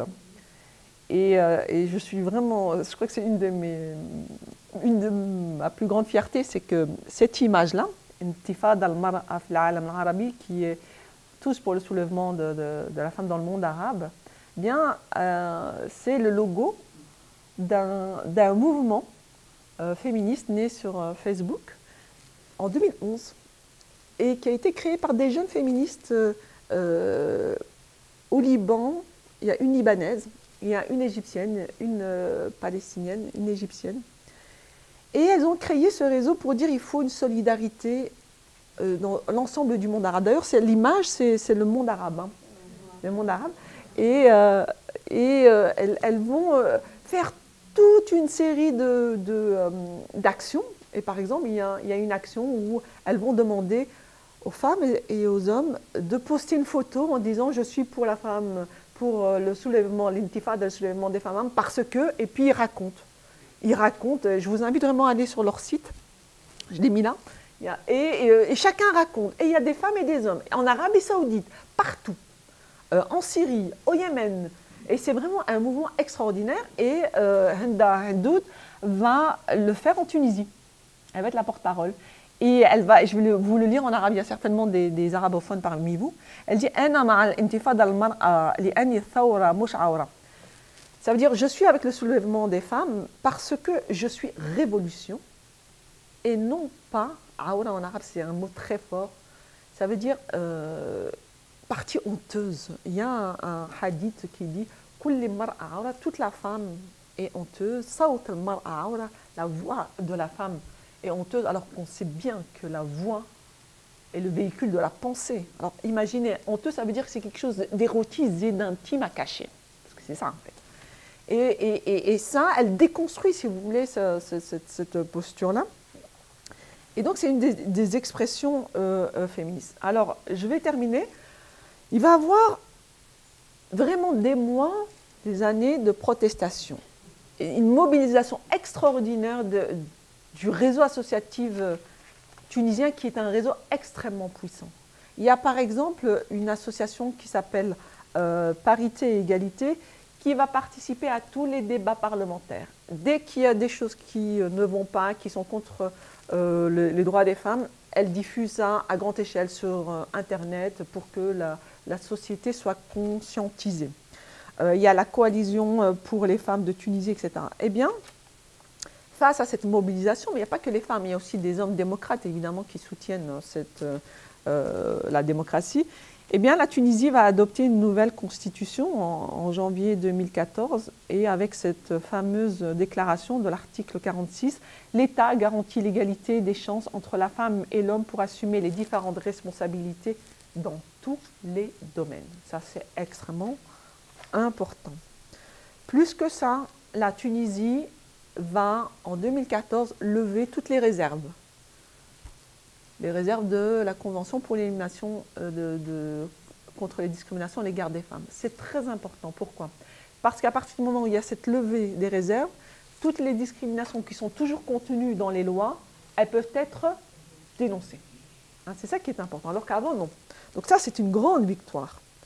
Alors évidemment, une société ne change pas à coup de loi. Il faut l'accompagner d'une culture de l'égalité, une éducation à l'égalité au niveau familial, au niveau social, au niveau euh, scolaire, au niveau universitaire, au niveau des médias, etc. Et comme le dit très bien une grande militante, la bataille n'est pas gagnée. Elle est dans les textes, mais pas encore dans les mentalités. Il faut tout ce travail. Mais néanmoins, le mouvement féministe et l'égalité est vraiment en marche euh, euh, en Tunisie. Et par exemple, un des grands acquis, des grandes victoires euh, des féministes tunisiennes, c'est la loi intégrale sur la lutte contre la violence faite aux femmes. Alors pourquoi cette loi est extrêmement importante et constitue une grande avancée? Parce qu'elle reconnaît les violences dans l'espace privé, violences domestiques, inceste, viol euh, conjugal. Dans le monde arabe, c'est euh, euh, viol conjugal, on ne connaît pas trop. Hein. mais là, on, le, reconnaît, ce qui est, un, ce qui est, ce qui est énorme. Et également, euh, l'égalité au niveau de l'espace euh, public, comme le harcèlement travail, harcèlement sexuel, etc. Et en plus de cela, cette loi-là est accompagnée des dispositions visant à l'effectivité de sa réalisation. C'est-à-dire qu'il euh, y a des mesures de protection des victimes qui va leur assurer euh, l'accès à des services, à une assistance juridique. Donc c'est vraiment une loi euh, complète. Alors par ailleurs, il y a aussi la circulaire interdisant le mariage entre une femme tunisienne musulmane et un non-musulman qui est supprimée hein, en 2017. Donc il y a vraiment des réelles avancées.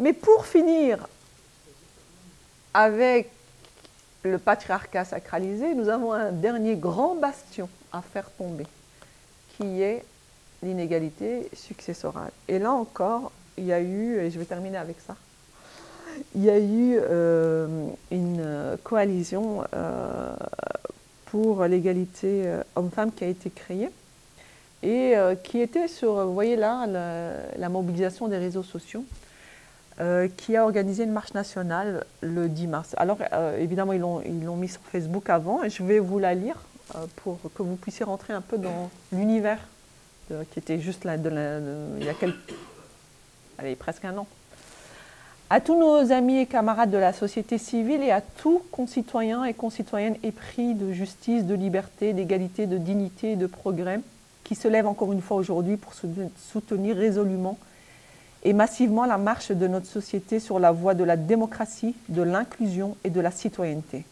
Participez activement à notre combat, informez autour de vous sur notre marche pour une citoyenneté à part entière des femmes qui passent notamment par l'égalité dans l'héritage. Restons mobilisés, tous pour notre projet de société démocratique inclusive. Soyons encore une fois au rendez-vous avec les soirs. Tahiyatoun.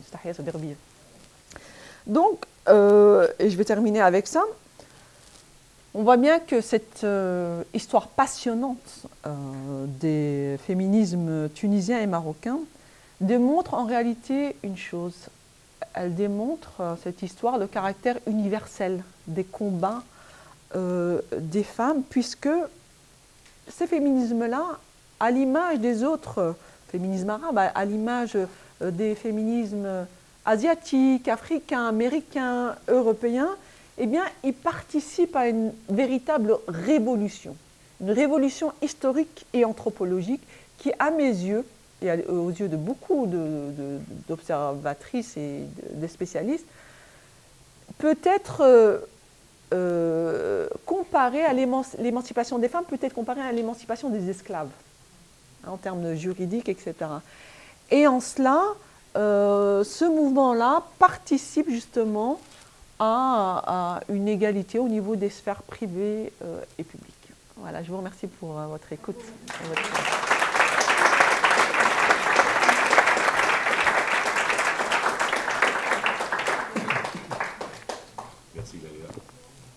Avec plaisir. C'est à vous, vous avez certainement mille questions à poser. Questions, réflexions On n'a pas parlé de l'Algérie. Oui. oui, je, peux répondre. Hein.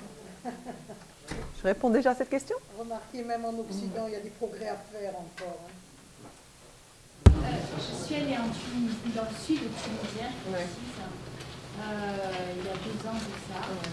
Et j'ai eu la chance d'avoir une guide tunisienne qui m'a expliqué un petit peu euh, au printemps euh, de ces femmes.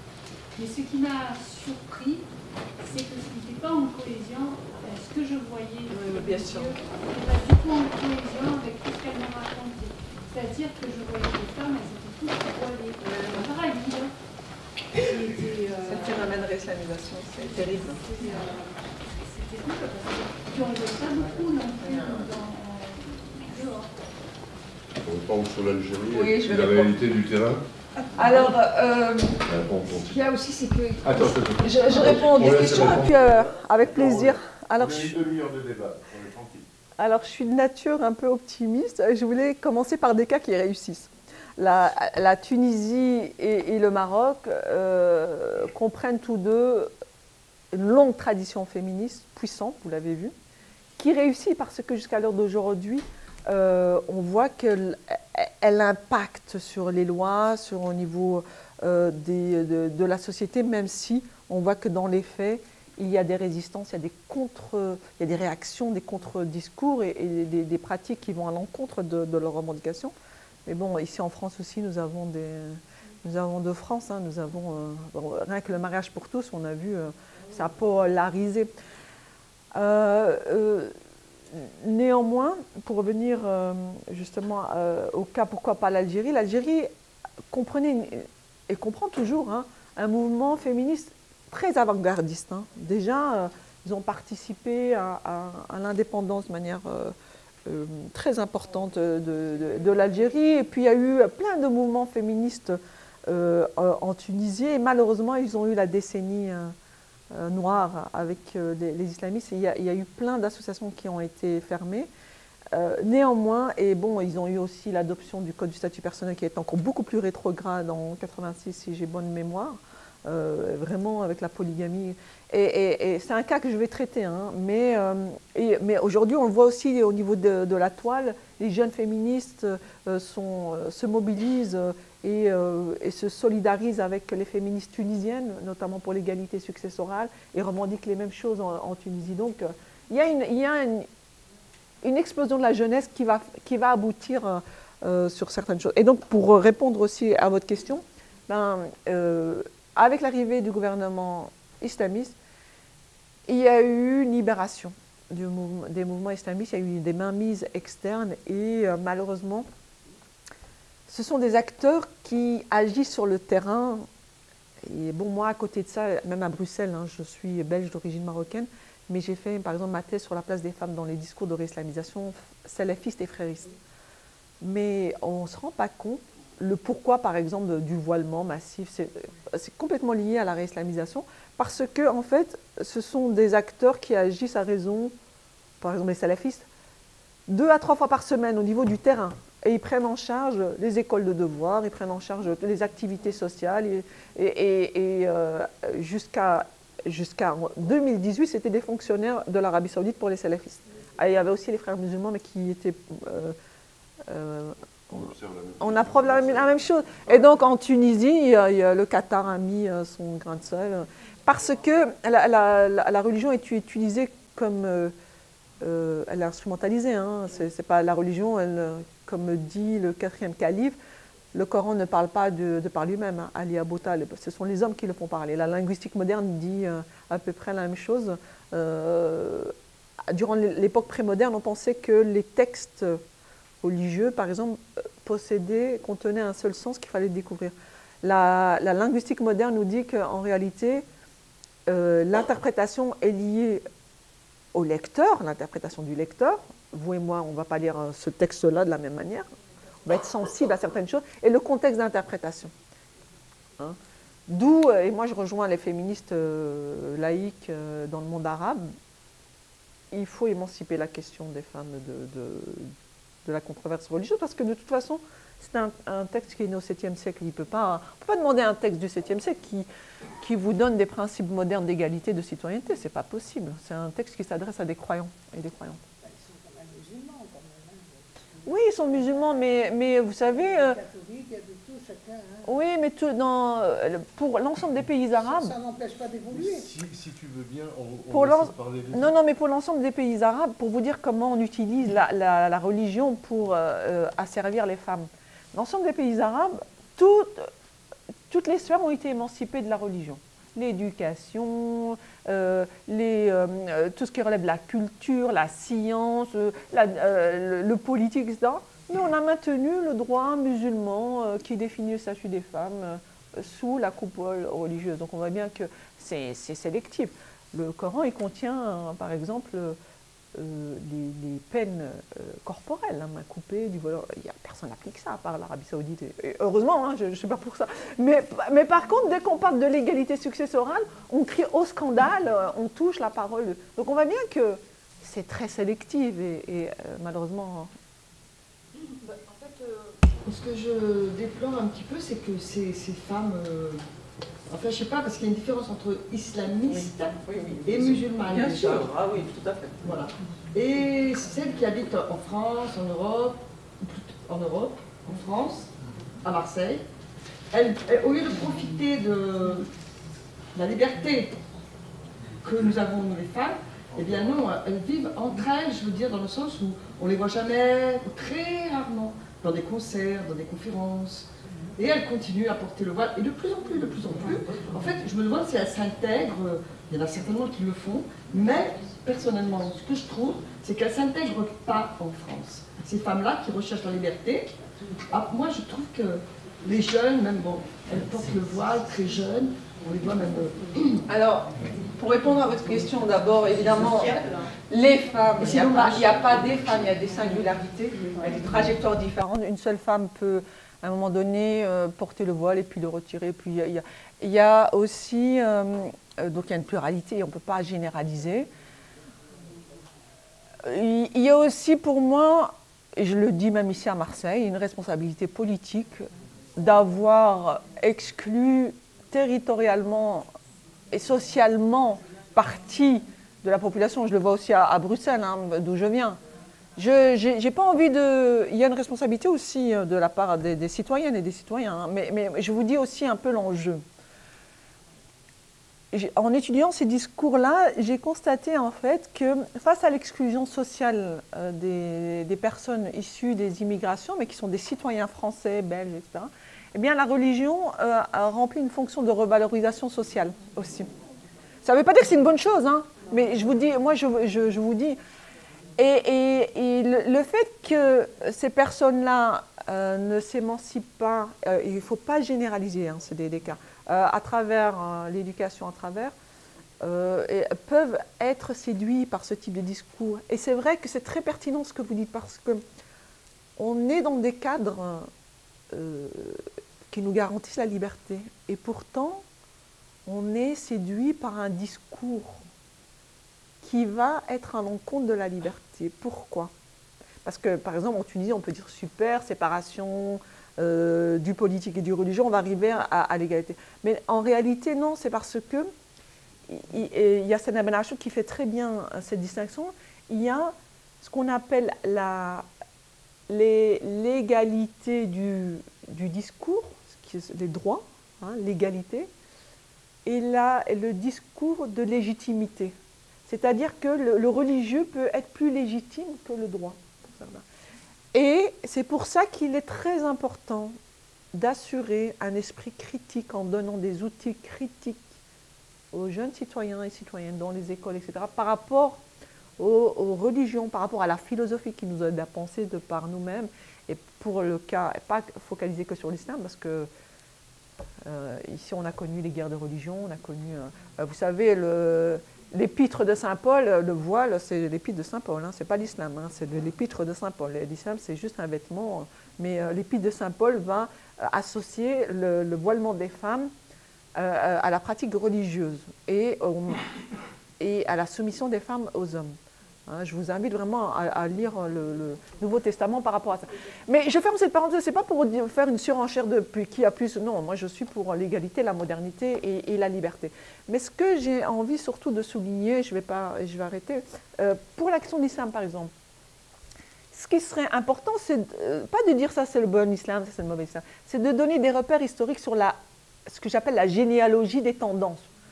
Comment naît le wahhabisme Comment naît l'orthodoxie au IXe siècle Comment naît le rationalisme Parce qu'il y a eu un mortazilisme au, au IXe siècle qui est un mouvement rationaliste de l'islam qui donnait le primat de la raison, par exemple, par rapport au texte. Personne, ne- la plupart des gens ignorent.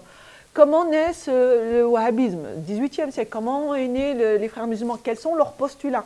Quel est l'islam critique? Tout ça, ça donne des repères et ça vous permet de vous prémunir face à des discours qu'on ne peut pas contrôler parce que c'est la liberté.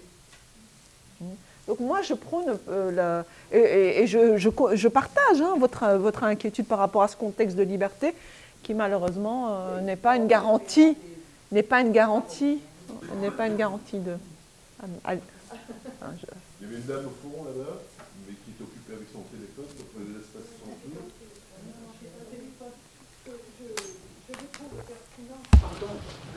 mais, mais courageuse. Vous êtes très courageuse et, et- et vous n'êtes pas menacée. Merci. pas encore. J'espère pas. Non, euh, comment dirais-je, je ne veux pas porter la poisse, mais c'est vrai que vous êtes tendu, vous vous exprimez Bon, d'une façon, bon tour passe. d'une façon qui est claire. et- Mais non, mais moi je ne disqualifie pas et je dénigre pas les acteurs. Voilà, je ne je, je suis, pas, je suis pas entraîneur.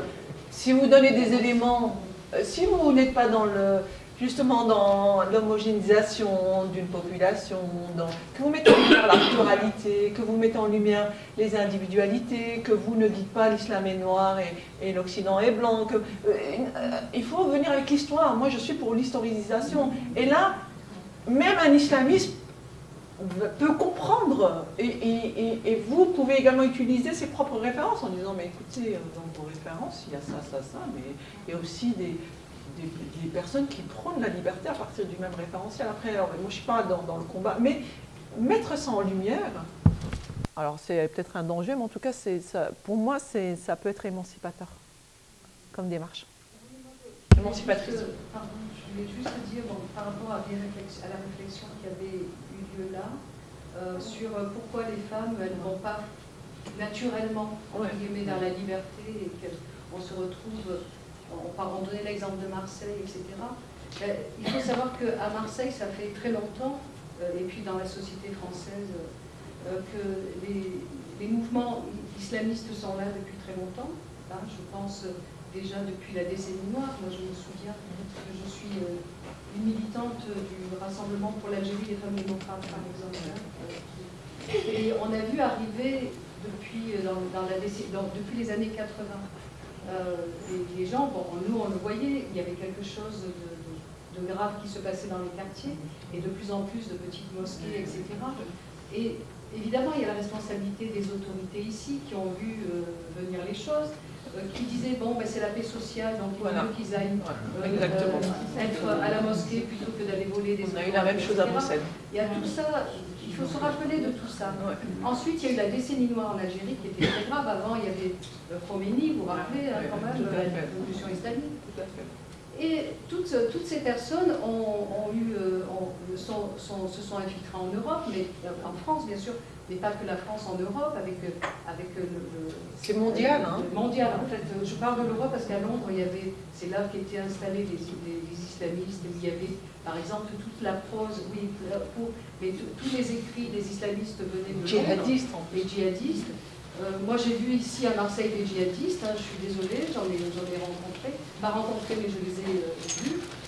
Et en fait, et, et, et, avec, avec tout ça, puisqu'on on a laissé les gens pauvres aussi euh, aller dans, dans, les bras de ces gens-là, effectivement, avec tout ce qui s'est passé sur les femmes, donc évidemment, vous avez vu qu'il y a de plus en plus de femmes qui portent le voile, etc. Et le gilbem, hein, qui, le de la salafisation. La, la salafisation des, esprits dans les quartiers, mais pas que. Et vous vous rendez compte qu'aujourd'hui, 2018, vous avez vu Daesh et vous avez vu... 19. 2019, euh, pardon. Parce que oui, 2018, 2019. Et Daesh, ben, il n'y a pas que les jeunes filles qui s'appellent Ouria ou Fatima qui sont parties faire le Ah, c'est tous les convertis. Elle s'appelle Céline, elle s'appelle Simone, non, pas Simone, mais elle s'appelle Céline, elle s'appelle euh, euh, Mélanie, etc. Et elles sont via les réseaux sociaux, parce que dans les réseaux sociaux, ils ont été très forts, très forts de repérer des jeunes euh, quelque, dans toute la société. Et là, c'est transversal, parce que ce n'est pas seulement des enfants de, de, paupérisés, c'est tous les enfants. Les classes, euh, et les classes, les, euh, les classes moyennes. Je veux dire, ça a touché tout le monde. Donc je pense qu'il y a une véritable réflexion à avoir. Et c'est vrai, on le voit comme ça. C'est drôle, toutes ces femmes qui ne viennent pas. Il n'y a, pas plein de femmes d'origine arabe qui sont ici. Et, on, le voit. Mais je veux dire, il y a, vraiment. Il y a la Et, je, rajouterais, je rajouterais une chose. Je rajouterais une chose puisque je suis en France. Non, mais je, et, pour, vraiment corroborer euh, vos propos, il y a une vraie responsabilité politique. Vous savez, il y a eu la Fondation Islam qui a été créée. Alors, pour créer un, islam de France, pas de subside. Comment vous voulez, face à des mouvements wahhabites, des pétrodollars, des, des salafistes, faire le poids sans rien donner? Ou donner des, vraiment euh, une petite somme dérisoire, c'est impossible. C'est impossible. Et ça, il faut le dire, il faut interpeller les politiques. Voilà, c'est ça, en Arabie Saoudite. Quand on, parle de la présence des religieuses, euh, ben, ils ont pris la place de la désertification des services euh, nationaux, des services publics, des maisons de la culture, entre autres, qui permettaient la rencontre euh, garçons, filles, avec mixité et puis l'autre. Et, et Social et culturel. au fur et à mesure qu'il y a eu ce désert, voilà, le religieux est arrivé. L'espace vide. Hein. Daesh s'est crié de, face à un vide, hein. un couloir vide. Hein. Dans ce contexte, euh, que pensez-vous de, de nos élus qui jouent en ce moment avec la loi de 1905, c'est-à-dire avec la laïcité? Laïla est belge. Elle enseigne à Genève. Je crois que c'est une affaire qui nous concerne. Vraisemblablement, Laïla a un point de vue.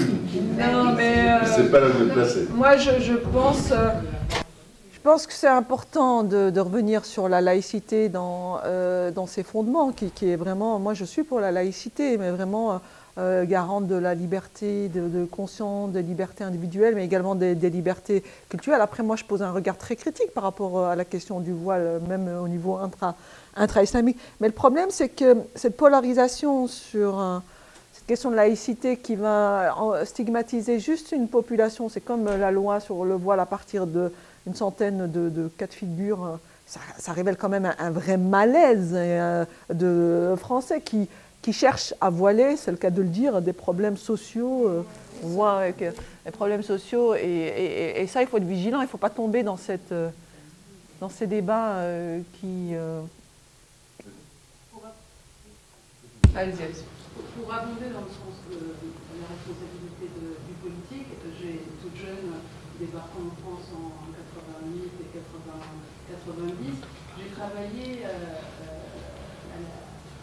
à la politique de la ville à l'époque. J'étais jeune architecte urbaniste et j'ai été sidérée euh, de voir qu'en proposant de, désenclaver des cités ah de euh, banlieue parisienne, Champigny-sur-Marne, Geneviève, etc., en disant euh, ça serait bien de construire des, établissements à l'échelle de la ville, de, de désenclaver, etc. Je me suis plutôt entendu suggérer qu'il fallait euh, installer des petits dispositifs pour maintenir ces populations vraiment, et euh, euh, les maintenir entre elles. Moi, je trouve ça scandaleux. Je trouve ça scandaleux, ce, discours officiel républicain de citoyenneté pour tous est dans les faits une ségrégation sociale et territoriale. Je trouve ça scandaleux. Et en plus, c'est confirmé. Hein. Sinon, moi, je trouve ça scandaleux. je suis désolée, hein, je suis un peu emportée, mais. Oui, bonjour. Juste concernant la. Je suis très intéressé par l'évocation de, la de la polarisation concernant ce. J'étais un des parmi d'autres signataires de cette pétition. Parce qu'il y a une pétition. Oui, il y a une pétition. Il y a une pétition dont nous avons été un certain nombre signataires de cette pétition, je veux dire d'hommes signataires. Oui, oui, Et simplement pour dire que cette polarisation a touché aussi les hommes, surtout les femmes, d'une manière importante, euh, à la fois en Tunisie et, au Maroc. Et par conséquent, c'est dire que ce combat est aussi soutenu par aussi une frange non négligeable d'hommes. Oui, bravo, bravo pour les hommes. J'ajouterais également que euh, c'est tellement important et symbolique Aujourd'hui, euh, dans d'autres pays qui sont concernés par cette question, notamment de l'autre côté, Proche-Orient, en Jordanie, au Liban, et ainsi de suite, c'est vu comme, comme, une, comme, une, émancipation importante, et par conséquent, les féministes euh, dans ces régions s'appuient pour pouvoir changer euh, la nature des choses. Je donne un exemple très simple. Par exemple, en Jordanie, du fait de la la non-possibilité pour les femmes de donner la nationalité à leurs enfants, euh, parce qu'elles sont mariées avec des étrangers non jordaniens. Euh, il y a aujourd'hui 40 000 enfants qui sont apatrides, parce qu'il n'y a pas d'égalité Donc c'est aussi, je dirais, des conséquences au niveau, au niveau des enfants, et, social énorme, et un gâchis de génération. C'est énorme. Et moi, je, salue vraiment les initiatives faites par les hommes comme vous, parce que la question euh, de l'égalité successorale, ça touche euh, les biens fonciers. et, donc, euh, évidemment, un homme est avantagé par rapport. Et là, c'est pour ça que la, résistance, elle est féroce partout. Dès qu'on touche à l'égalité, on, brandit le Coran, alors a, l'esclavage est dans le Coran. Il, y a, toute une série de, la plupart des gens qui s'opposent à l'égalité successorale vont dire concernant les versets relatifs au djihad de la sourate 9, tuez-les partout vous les trouvez, vous vous rappelez euh, ce que disaient les, djihadistes euh, au moment des attentats ici en France, eh bien, la plupart vont vous dire Ah non, c'est historique, euh, il faut l'interpréter et le remettre dans son contexte historique. Dès qu'il s'agit des femmes, il n'y a plus de contexte historique, il faut la littéralité. Hein? Et en l'occurrence, pour l'égalité successorale, c'est pire, parce que ça touche les biens. Ça veut dire que moi qui suis née à Bruxelles, mais qui suis d'origine marocaine, mon père, mon père peut avoir euh, des biens au Maroc, par exemple, on a, deux maisons au Maroc, eh bien, il vient à mourir officiellement, mes frères, qui comme moi, on travaille, on a, on a, eh bien, ils vont recevoir automatiquement le double.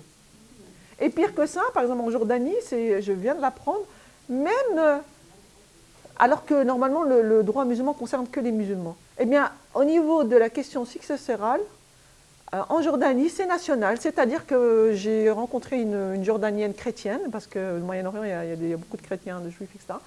Elle disait que moi, j'ai ma sœur, on n'est que deux filles. Et notre père, euh, au moment où il allait écrire son testament, s'il n'avait pas écrit de testament, notre maison, elle aurait été retirée à ma mère et à moi et à mes soeurs pour l'attribuer à mes cousins.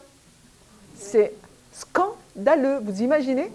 Eh bien, ils doivent écrire des dons. Ils doivent, faire, ils doivent les mettre sur le nom. Sur... Oui, c'est vraiment, c'est plus tenable. C'est plus tenable. C'est pour ça que la révolution des, féministes dans le monde arabe est d'une importance capitale. Non pas que pour, pour ces raisons-là, mais entre autres pour ces raisons-là. Vous nous en faites profiter aussi oui. Bien sûr, bien sûr. S'il n'y a pas d'hommes, enfin, par exemple, le père qui meurt, bon, oui, disons, la maman et les, les, Elles sont mises à la porte, Si elle n'a pas un garçon, elle n'hérite de rien. Ce sont les oncles, enfin tout le monde hérite. C'est vraiment le système patrilinéaire. Et les enfants, s'il y a un garçon, elle hérite. S'il n'y a pas de garçon, après des fils, mais à contrario, il n'y aurait pas obligation pour ces hommes qui sont avantagés euh, Non, mais dans les feuilles, il n'y a rien du tout. C'est pas, général. Il y en a qui le Ça relève de la bonne volonté, en fait. Encore une intervention, et ensuite, vous serez libéré. Vas-y. Oh, on, peut rester encore une dizaine de minutes. Je voulais savoir la différence entre l'islam oriental et l'islam euh, occidental, parce que euh, pays du Nord et des Occidentaux. Et un jour, j'ai dit à, un Yéménite, je lui ai dit, nous sommes des Arabes. Il m'a dit, vous, vous n'avez ni l'odeur, ni la, façon, ni, ce qu'on appelle du racisme. Et on, euh, on cantonne les, Africains euh, comme des Arabes, alors que Et je me suis dit, c'est comme un curieux. Pourquoi il me dit ça J'ai été voir dans les livres d'histoire et tout ça. Et j'ai constaté que les Arabes avaient colonisé. Oui, tout à fait. ah oui, oui. Et nous a été arabisé, islamisé. Nous sommes devenus arabes pas, dans, dans l'esprit seulement. Dans la langue aussi, mais sauf, les milieux, sauf, les berbères qui sont restés dans les montagnes, qui ont conservé leur langue. Et, euh, oui. Euh, et quand je parle avec un arabe, moi, je ne le comprends pas et lui, il ne me comprend pas. Oui, oui, les dialectes, les dialectes sont différents. l'islam qui est différent. Alors, excusez, excusez-nous, La différence entre, les, deux islams. En fait, je vais vous répondre très très rapidement. euh, chaque euh, islam euh, s'ancre dans chaque société et s'exprime différemment en fonction de son contexte d'émergence. Et j'irai plus loin parce que vous savez, par exemple au Maroc, c'est les Malikites, c'est une des écoles juridiques. Mais vous allez en Irak, c'est encore une autre école hanifite. Et puis en Arabie Saoudite, c'est Hanbali, c'est une des, autres écoles. Mais c'est des écoles sunnites, hein, mais avec des, des, variantes. Mais chaque, euh, par exemple, on va dire un citoyen français de culture musulmane ou de confession musulmane, il est plus proche d'un citoyen euh, français athée ou chrétien ou, juif à l'heure d'aujourd'hui, hein, que euh, citoyen musulman au Yémen, par exemple. C'est deux mondes différents. C'est, et, et, c'est donc pas la question d'islamité, c'est la question de l'ancrage culturel et sociologique. Et je dirais plus, les neurosciences nous, nous le disent, euh, c'est individuel. Avec le, cerveau, voyez-vous dans votre famille, vous avez vécu des mêmes événements et chacun va l'interpréter différemment. Parce qu'on a des cerveaux qui fonctionnent, confession musulmane, eh bien, il va aussi avoir une appréhension différente de, son vécu religieux, euh, voilà, individuel, subjectif. Il faut mettre les subjectivités en avant. J'ai rencontré il y a quelque temps une dame qui participait euh, à la marche européenne, des, femmes européennes. Et une jeune dame euh, égyptienne me disait euh, Vous avez une grande responsabilité parce qu'on vous regarde. Et on a, envie de faire comme vous. Donc individuellement et collectivement, nous avons une grande responsabilité.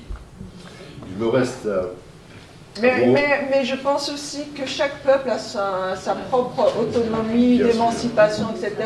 Nous avons des valeurs communes, mais euh, on n'est pas dans, des mimétismes. Chacun participe à ce mouvement collectif de libération. Euh, des. Bien sûr. il ne faut pas tomber dans des travers. Je vous ai promis d'inviter Leïla à nouveau au mois de mars, donc vous savez ce qu'il vous reste à faire, si vous voulez qu'elle revienne. Oui.